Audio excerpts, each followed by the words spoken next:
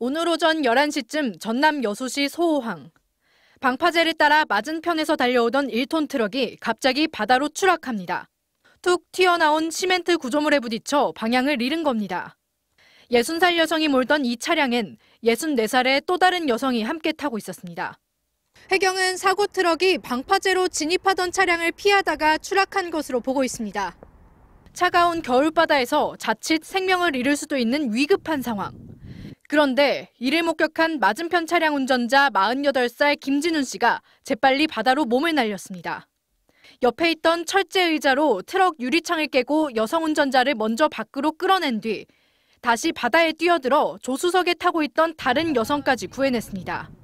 김 씨는 평소 강직성 척추염을 앓아 몸이 불편한 상태였지만 20분 동안 혼자 사투를 벌였습니다. 신고를 받은 해경이 출동했을 땐 피해 여성들이 작업용 바지선 위에 모두 구조된 상태였습니다.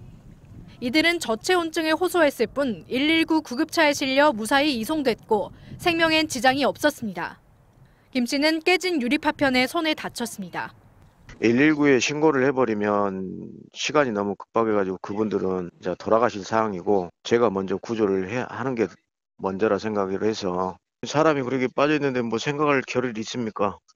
해경은 몸을 아끼지 않고 생명을 구한 김 씨에게 감사장을 수여하는 방안을 검토하고 있습니다. MBC 뉴스 강서영입니다.